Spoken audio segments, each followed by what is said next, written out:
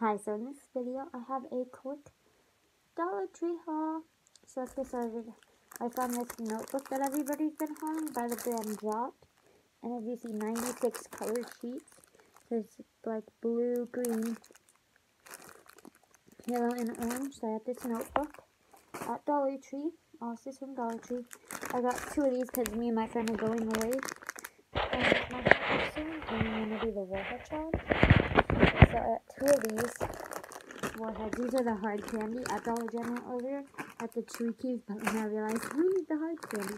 So these warheads are the extreme sour candies. These are two ounces, and they had actually dollar off two Peely coupons on them, so it took it. So I got these for 50 cents a bag.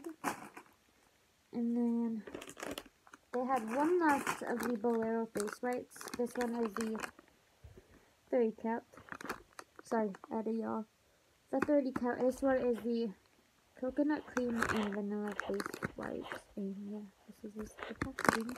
And then, finally found them. This is the cinnamon spice. They had a few different sets.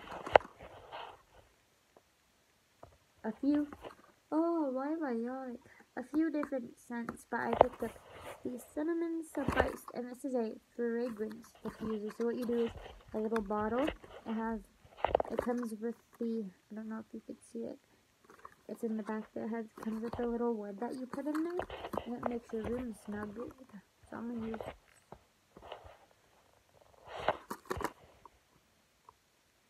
Goodbye, rainbow. So, and then just this is how cute the packaging is, though. Like, Dollar Tree stepping up its game. If you want a review on that, let me know. Thank you guys so much for watching Dollar Tree Hub. I filmed Dollar General, the store, Dollar Tree. Now I got a Walmart Hub.